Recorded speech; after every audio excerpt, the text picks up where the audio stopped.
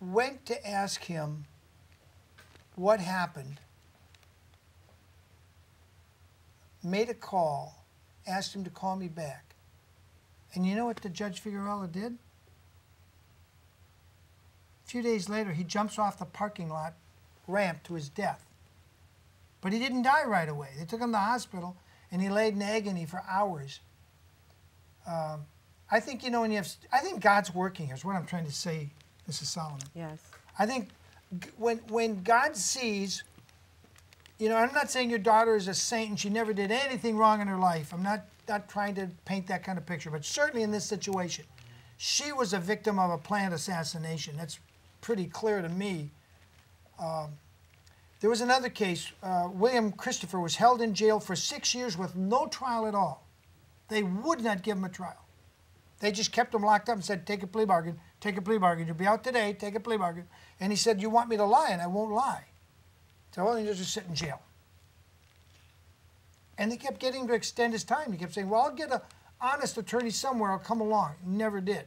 Finally, I got involved in the case. Did an in-jail interview, and I remember when the judge, who at first had not wanted to let my camera in the courtroom, and now they put on a new prosecutor, and this prosecutor's name was Max. Max calls me up and said, Mr. Wagener, uh, he won't take a plea bargain unless you uh, come to court and tape it. And, the, and I said, well, the judge won't let me. I've already gone that route. He said, no, the judge said you can bring your camera in court. Just, you can tape it because it's the only way he'll do this deal. I said, well, that's a real change. When I got in there and started taping, I didn't realize they'd pulled a fast one. I was too busy concentrating. And what the judge had said, he said, you can call, I'm going to let you out of jail today. And the reason was he had served as much time as they could give him if he'd been convicted. They couldn't keep him in jail Not any longer. longer. So what they were going to do is declare him mentally insane and send him to a mental hospital for the rest of his life if he didn't take this deal. And he looked at me and he said, "Should I take the deal, Mr. Wagener?" And I just looked up and said, "You know, you've sat in jail for six years. I- can't make this decision for you." But I had a gal who was a CASA, a court-appointed special advocate. Her name was. Um, forgive me, Adrian. Adrian Ashley. And she was also taping this and working in a documentary for uh, um, HBO. And she went and sat next to him and said, Take the deal. Take the deal. Even though you've refused to take the deal, take it today because Mr. Wagener's here. And what I noticed is when the judge read and said, okay, you can bring, send any evidence you want, but you can't subpoena the, the baby doctor or any of his records. And that was the key. He was the only one that could testify his wife had no bruises, never had any bruises. He was a court appointed mandated reporter. He would have had to call the cops. And the whole thing was she, his, his wife was a little bit loony. Uh, she was from the Philippines and she was a drama queen. She had accused him of beating her and she had bruises up and down her body. Well, she had no bruises because he sent me photos. He took photos of her during because he was so pregnant. You know, he's proud of his wife being pregnant. He had pregnant pictures of her front, back, side, completely nude. Every week he took nude because he was so happy. He was having a boy, his first boy. And he was also an Army veteran and he was like 40 and he's having his first son. There was not a bruise on her. And that's what the doctor would have had to testify. And I didn't notice that till I got back from San Jose, California, and I'm watching my own videotape, getting ready to do a TV show about it. And the judge said, I will decide this case in 90 days. And I remember when the judge said that, I there, there was lots of lights in the room, you know, it's a courtroom. But I seemed to see like a dark shadow around the judge. Honest, my, Mr. Bishop's chuckling. He thinks, you know, I'm seeing things. But I'm telling you the truth. When the judge said that with such arrogance, I will decide this in 90 days. Even though there were lights, it seemed to be like a darkness around the judge. The next week, the judge came down with a fast acting cancer, and within two months, he was dead. He never got to decide nothing. Anything. He should have asked God what he should decide. And if I don't know what they ever did decide, I think they appointed another judge and probably found him guilty. But they told him, "You're not going to do any more jail time. We're going to let you out today, and, and we're going to just if we find you guilty, if you know, if we find you guilty, you've served all the time you're going to serve, and you don't even have to come back for the trial." And they let him out. I don't know what happened to Mr. Christopher. He's probably living in the boonies somewhere today. But that judge died. And that really, you know, said to me, there is a God. He is watching. Yes. Uh, I do believe that. I don't know if God's black, white, or has no skin color. Maybe his, his color is just love. Maybe God's color is just love. And he saw the arrogance and the hate that this judge and this legal system had done to this innocent man. And they said, We're going to fix this. And God fixed it. That judge wasn't around 90 days later. He should have asked God. Because none of us are guaranteed. I mean, I could walk That's out of the right, studio, right. a cop shoot me and say, Oh, I shot the wrong guy. Was that Mr. Wagener? Oh, well. Hmm. None of us are guaranteed one more day in this world, and God's in control. So I am, I am really sorry this happened to you.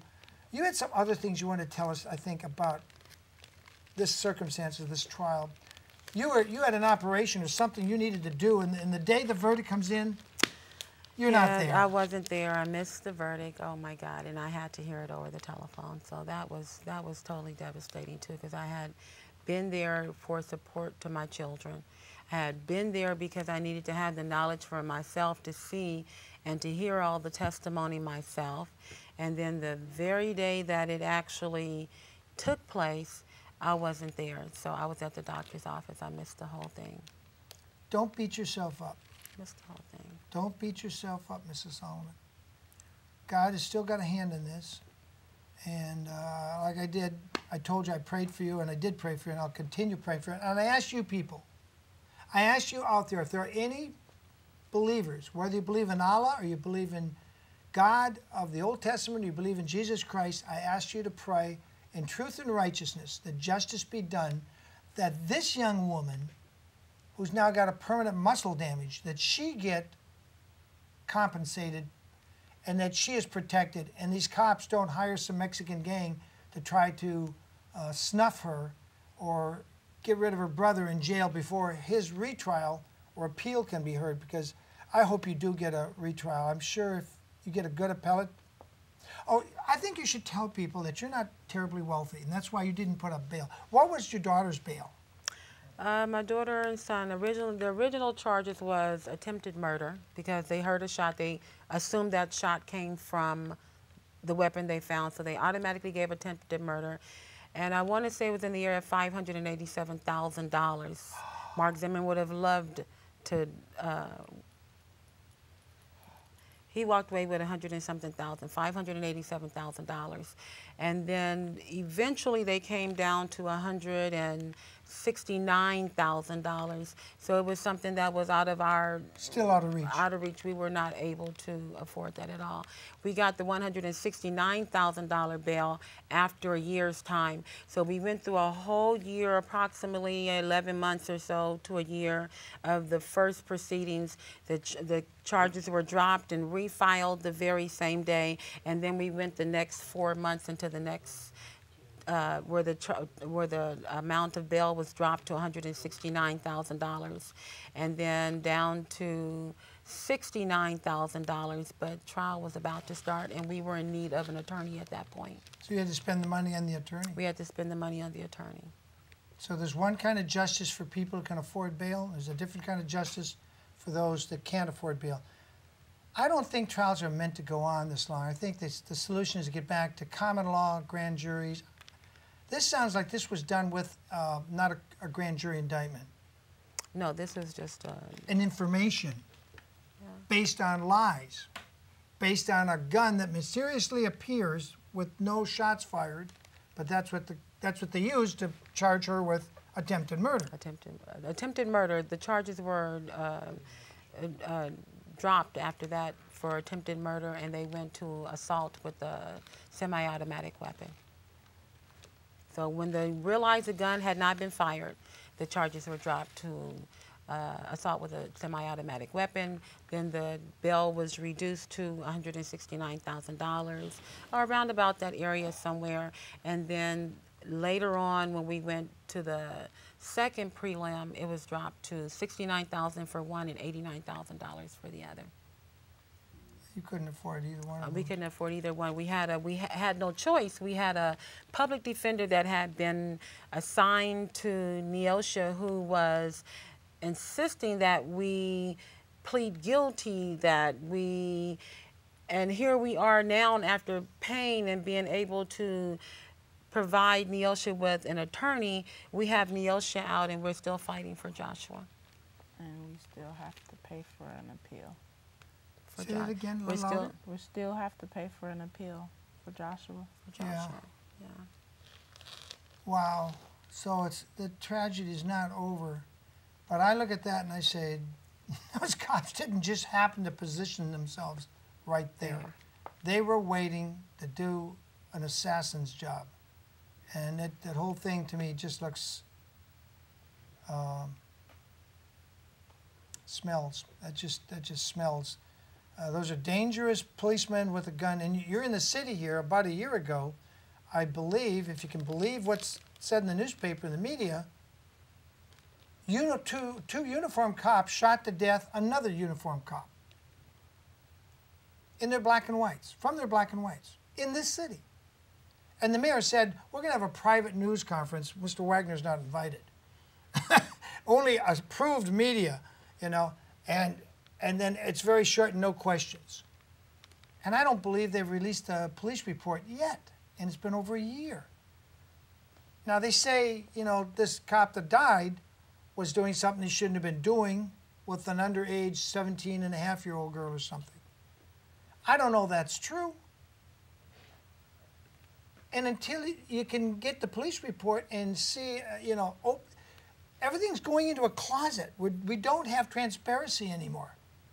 To me, that should have all been within two months. It should have all been open and public, because I would like to go investigate that. And that happened right here in Santa Maria, the same town where seven years ago, on June 13th of 05, Michael Jackson, after being ruthlessly, ruthlessly, maliciously, with malice aforethought prosecuted in open court for five months, was found not guilty of not just the 10 felonies, but 14 charges. And it was mostly an all white jury. And they said, this is all crap. I remember the Italian film crew left, I think, one month, I think they left in March, early March. And they said, I said, why are you guys packing up? Said, oh, this is all crap. I said, well, thank you. I'm glad there's somebody that agrees with me. Because I'd watched enough of the trial already. I said, these, these people are liars and grifters. And if, if the jury can't see this, then God help us all. In your case, what did the jury look like? I mean, I don't like to be racial, but was it were there half blacks on that jury, or Uh, out of 65, I counted six blacks from the very start. That was uh, before the jury picking. Uh, during the jury picking, there was one black that sat on the jury out of the 12 seats. And um, only one? There was one black. One black, one black. One black that sat on the seat. And you live in a mostly black neighborhood Correct. in a highly black city of Los Angeles with lots of. It's Blacks not like blacks are scarce and hard to find in Los Angeles. No.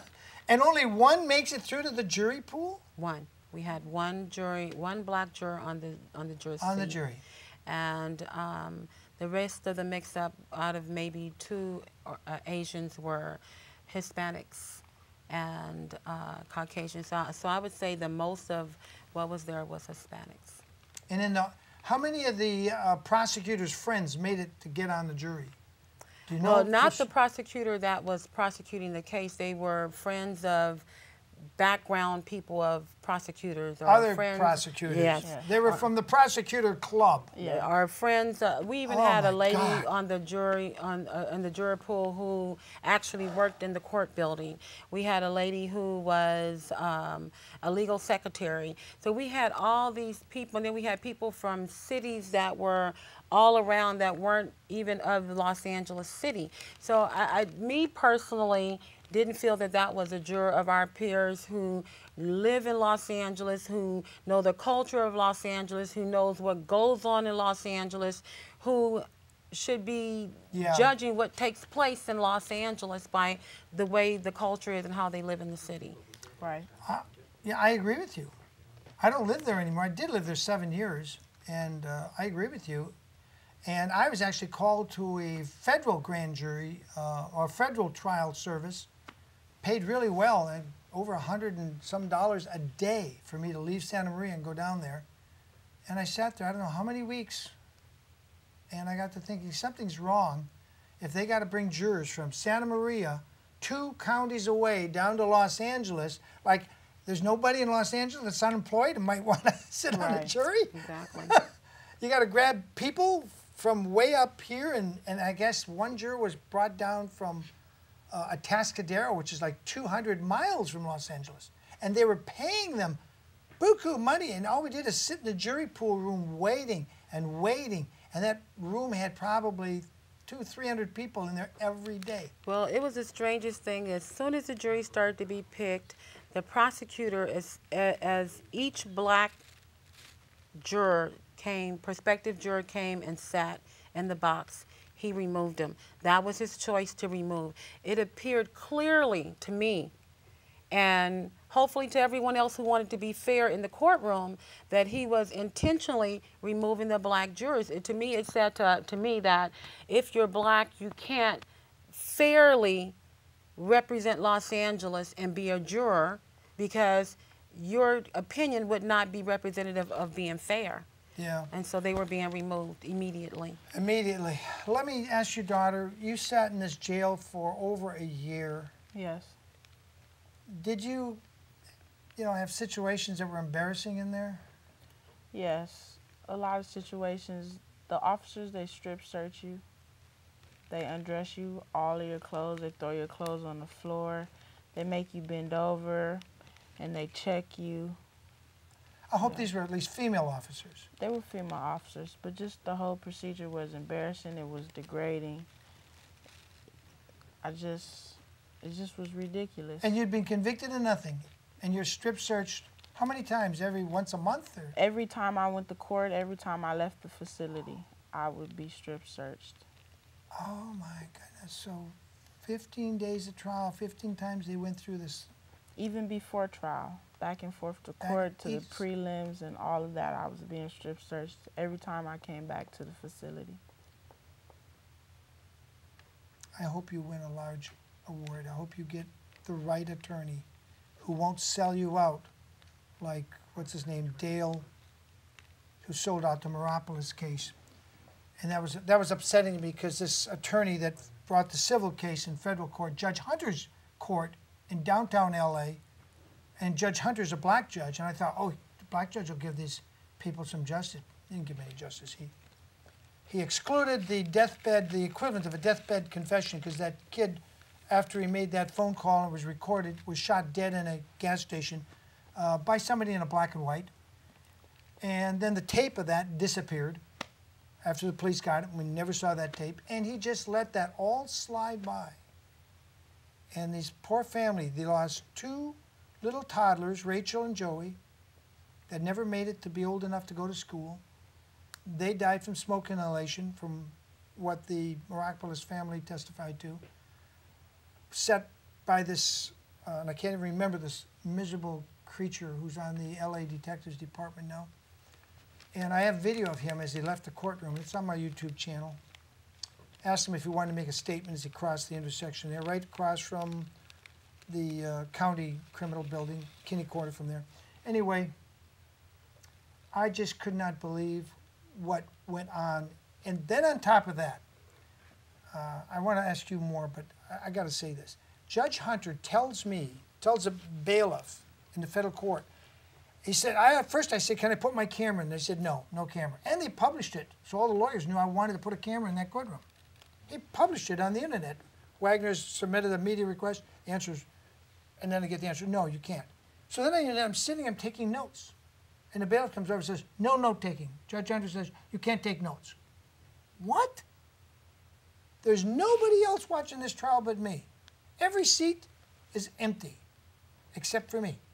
Like, who am I disturbing by just taking notes? Right.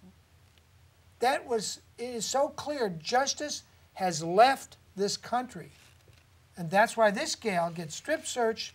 This young lady gets shot in the back of her leg, falsely accused, set up, and now she has to go begging for an attorney that will represent her. And you probably got no money left. You spent it all on the first attorneys. That's correct. Is the NAACP going to come forward and put up some money and help you? Well, I doubt that. I doubt that. We've had um, um, quite a time trying to get that kind of representation. And I think that most organizations want to have a clear cut view. They're going to walk in and get some kind of recognition for themselves and not actually have to defend. So we haven't had that kind of representation as far as um, civil rights or NAACP. I think this is a case Susan you could do miracles with. If you could just get a hold of her, um, if you could just get a hold of her. Tell me what else happened. Did you get threatened or bullied by any of the other women in there? It was a lot of bad. I wouldn't get any medical attention. Um, I developed a tumor in my breast while I was in there, and I wasn't getting the proper medical attention. I had to have the judge order me medical attention, and they still wouldn't acknowledge his order, and he had to order it a couple of times more for them to finally acknowledge it. And it didn't really get acknowledged till right before trial started. Wow. So it was poor medical attention. Did you ever get the tumor taken care of? No. You still have the tumor? Yes. And now you're too broke to do anything about it. Well, we have the tumor now, and now we have the opportunity to go and look into it. So while she was there, the judge ordered that the next time she comes back to court that they have a medical record for him to be able to see that she had been to see the uh, doctor. So then they took her and they did a biopsy of it. So now that she's home, we'll go and do the follow up to make sure that it's it's benign and, and it's not going to um, interfere oh greatly with her health. Are there any doctors out there? Are there any doctors that could step in and volunteer to help here? I mean, the injustice of this. I mean, just the stress of being locked up could, could start a tumor. Yes. People get stressed and depressed. Were you depressed while you were in there? Depressed. Yes, depressed. It was the most worst experience in my life. I had been previously shot and right from being shot right to being incarcerated for something that I didn't do. Just walking to a bus station. Oh my God. I'm going to go now to uh, another clip. Uh, this time of year, I like to remember Bob Berg, who was the only witness for a man who was murdered in the jail, in the infamous jail in New Hampshire. Bob Berg died about a year after this. He flew out to California from New England to do this interview, believing, falsely believing, that the Attorney General of New Hampshire would investigate this infamous Valley Street jail where a lot of people have been killed in the jail by the jailers. And to my knowledge, not one of those jailers has ever been prosecuted, including the murderers of Brian Armstrong, an unemployed 41 year old welder who was in jail for being unable to pay child support. And there he gets his head cracked open like a watermelon hitting the concrete floor. We'll go to that and be back again with more of Mrs. Solomon and her daughter. We ready? Failure to appear in a court for a rearage he couldn't pay. Correct. And did he ever get to see that judge? Or was he dead before well, he actually got to coincidentally, uh, I'm uh, just trying to get the, the sequence of events, yes. how he got to be in the situation where his head splatters like a watermelon. he, he was uh, a, a, warrant was issued for his arrest. Apparently, apparently a warrant was issued for his arrest. I have seen the warrant. Uh, and the warrant was for his failure to appear at a court hearing for non-support. So he was apprehended by the sheriff under that warrant and then held uh, over until the hearing on his reasons for or and the cause for non non-payment of child support. Okay. Now, it's coincidental that we both went before the same judge on the same day. Oh, really? And there are actual court documents that bear both of our names that show we were heard by Judge Bernard Hampsey. Judge Hampsey saw you both. And how did, did you hear what was said to Brian Armstrong by the judge? No, I was not uh, in the courtroom other than for my own hearing, so I have no, no you didn't idea. pay attention. I wasn't even in the courtroom. Okay, you weren't in the courtroom. What I find interesting is the state of New Hampshire's Office of the chief medical examiner dated here uh, January 18th as the date of death, the year 2000. So it's been over three years, and there's been no resolution, even though you saw the guard grab this guy and then toss Armstrong back. You heard his head, as you said it, break like a watermelon splattering. And Crack this, splat type uh, thing. yeah, sort of a, a crack and a splat. And I'm going to page nine of the autopsy, and the cause of death says blunt impact injury of head with cerebral contusions, contusional hematomas, cerebral edema, and herniation. Contributing conditions chronic alcoholism with cirrhosis of the liver. Contrib- that's a contributing condition. Manner of death, it says very clearly, I don't know if the camera can zoom in tight enough to get it. Manner of death, according to the state report, is homicide. Homicide in the jail. And it doesn't say who did the homicide, but on the following page, it shows the injuries of Brian Armstrong, uh, whose date of birth is September 30th, 1958, and he was age 41 at the time of death three years ago. And it shows, you know, like injuries and, and scars. There's a lot of scars, but it shows some injuries to the head, scar on the front of the head, uh, things on the back, blue red, uh, just above the right side of the buttocks here. I mean, it looks like somebody did a little more to him than just falling back. Is it possible, Bob, that they may have done something to him when you weren't in the jail or that you weren't there or something happened the day before or something you didn't see?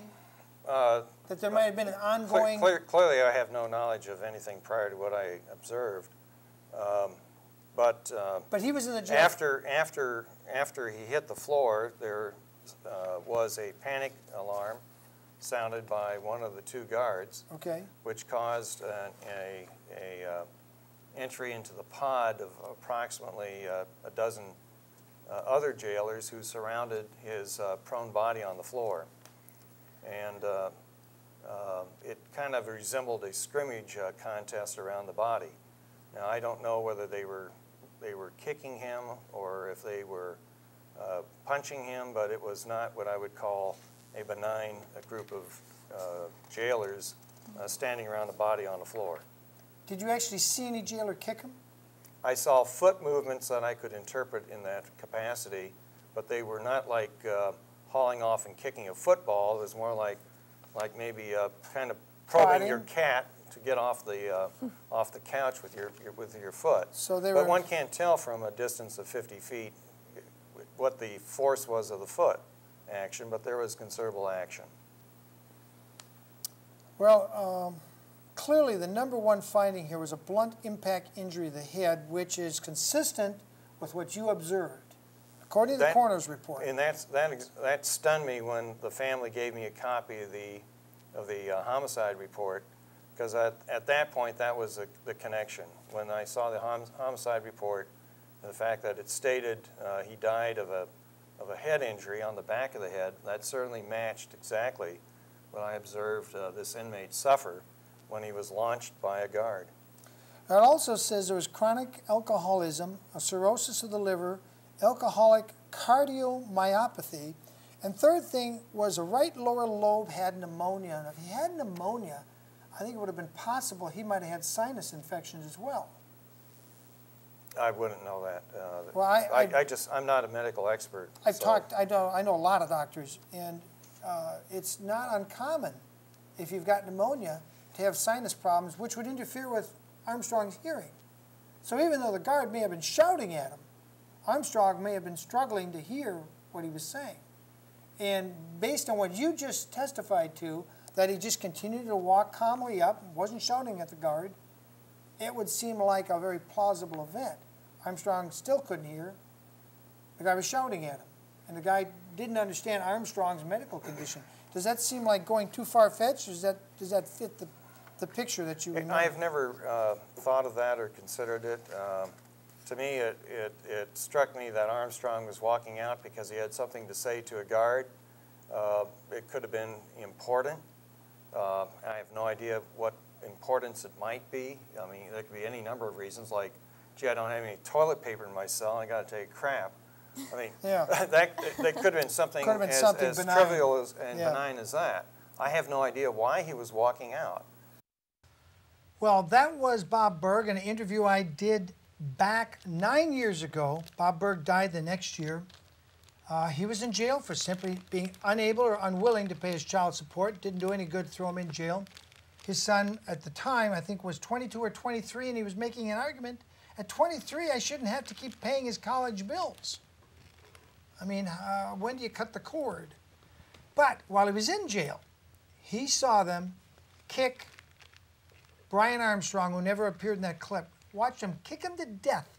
Now, the cop said, oh, he fell backward and cracked his head open. But as you saw in the diagram, he had bruises up and down his legs, in the, in the back, in the front, in the side, in the neck. He was kicked to death. And that's what Bob eventually testifies to. But he's a mathematician and he takes a long time writing out his formula, getting it out to, to get to the punchline. And that's what I'm glad didn't happen to this young lady, that she didn't get kicked to death or beat to death. And I would just ask you people call the district attorney of Los Angeles. His name again is what? Ma- Miraculous. Miraculous. Marakich. Call Assistant DA Marakich and ask him what the flying, frigging, singing monkey is he doing prosecuting this person with this kind of crummy evidence. It seems he's committing a crime. Civil rights are being violated here by the police and covered up by the uh, Los Angeles DA, which I saw in the murder of Michael Jackson in the Conrad Murray trial. And I knew when they postponed that for one year, Conrad Murray would never serve one day. And I said this publicly, and you heard me.